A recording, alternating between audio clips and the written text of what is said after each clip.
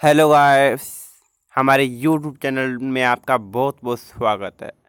दोस्तों, आज अपने बात करेंगे कि नीट काउंसलिंग में आपको क्या क्वालिफ़िकेशन है।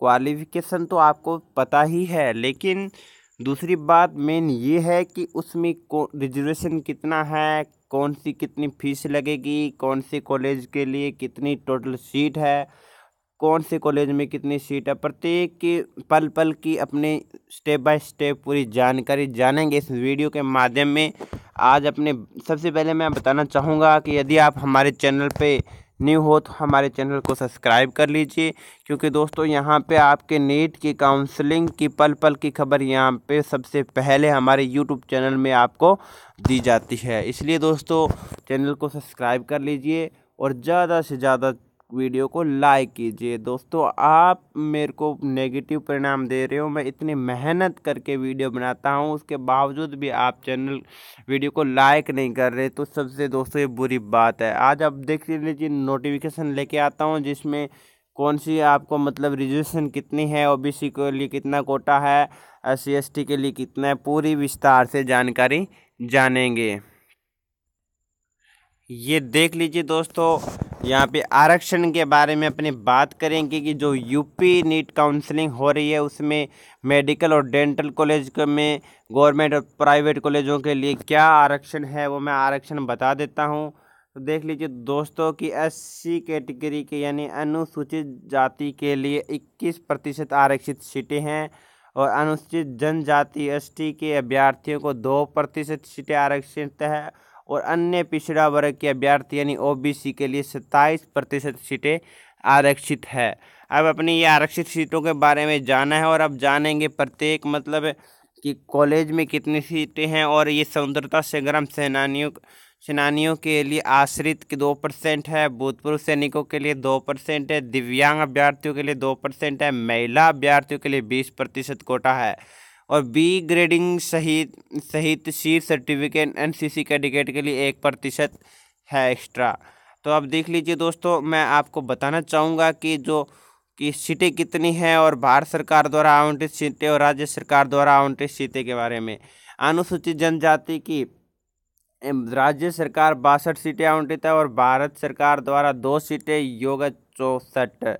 अनुसूचित जनजाति के लिए पाँच है और इधर भारत सरकार एक, टोटल छः। अन्य पिछड़ा वर्ग के लिए ग्यारह और ज़ीरो, चार और पंद्रह टोटल। और अनारक्षित के लिए सात और आठ इधर और इधर, टोटल पंद्रह।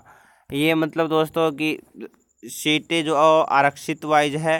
राज्य सरकार और भारत सरकार द्वारा आवंटित सीटें हैं। अब अपने पूरी बात कर लेते हैं इसके बारे में और क्या लिखा हुआ है। निजी क्षेत्र के मेडिकल कॉलेज आरक्षण।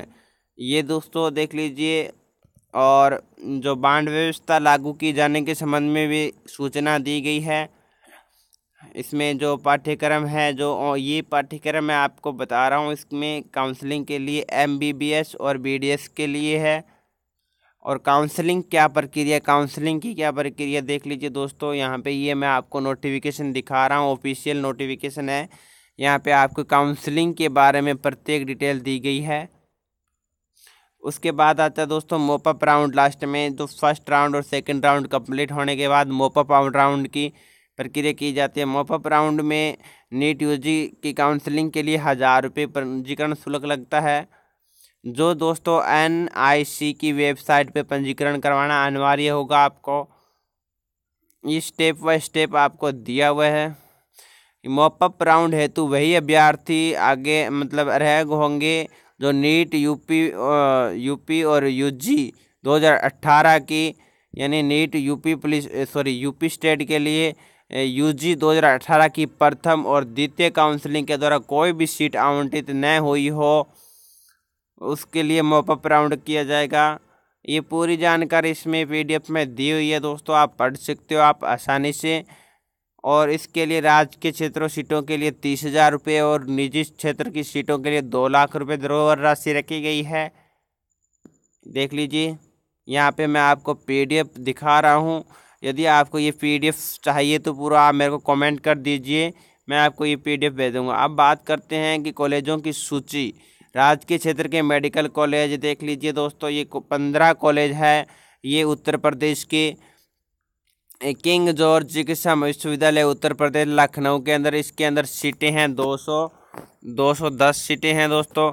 उसके बाद G S V M medical college Kanpur में एक वन फाइव नाइन सीट है और N S medical college Agra के लिए एक सौ चौबीस है। उसके बाद M L N medical college Ahmedabad की एक सौ चौबीस है।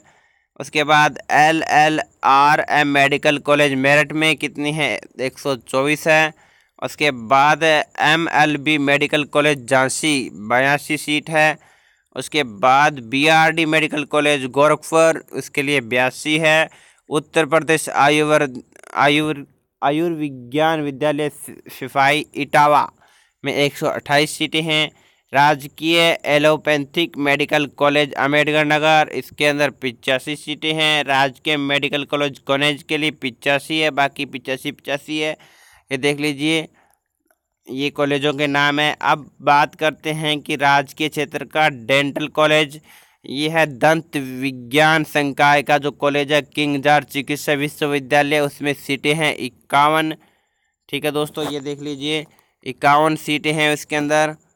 और उसके बाद कॉलेज का नाम दिया निजी क्षेत्र के जो प्राइवेट कॉलेज हैं, मेडिकल कॉलेज, उनके लिए सीटें आवंटित बताई गई है, जो आप यहाँ से पीडीएफ में देख पा रहे हैं। प्रत्येक की इधर सीट यहाँ पे आपको कॉलेज का नाम दिया हुआ है और यहाँ पे आपको कुल सीटें दी हुई है।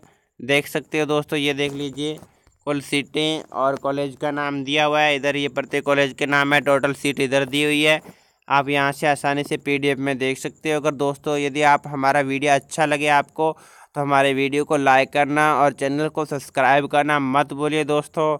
अगर आप देख लीजिए 2018-19 की प्रवेश की अनुमति प्रदान नहीं की गई है, कि सूची मेडिकल कॉलेज के नाम दिए हुए हैं और स्वास्थ्य एवं परिवार कल्याण मंत्रालय, भारत सरकार द्वारा निम्न कॉलेजों को शैक्षणिक सत्र 2017 से 18-19 हेतु डिबार किया गया है। ये इन इन साठ कॉलेज इनको डिबार किया गया है। ये नेक्स्ट निजी निजी क्षेत्र के डेंटल कॉलेज के नाम दिए हुए हैं। डेंटल कॉलेज में सीटें भी दी हुई है। प्रत्येक कॉलेज की शॉर्ट सीटें हैं। ये देख लीजिए दोस्तों, प्रत्येक सेंटर आपको मैं विस्तार से बता रहा हूँ। और ये पूरी यूपी पुलिस की पूरी की पूरी काउंसलिंग प्रक्रिया है दोस्तों। नेक्स्ट वीडियो में अपने बात करेंगे, इनकी कट ऑफ़ क्या जा सकती है। और फ़र्स्ट राउंड की और उसके बाद सेकेंड राउंड की कट ऑफ़ भी जानेंगे। इसलिए दोस्तों बने रहिए हमारे वीडियो के साथ।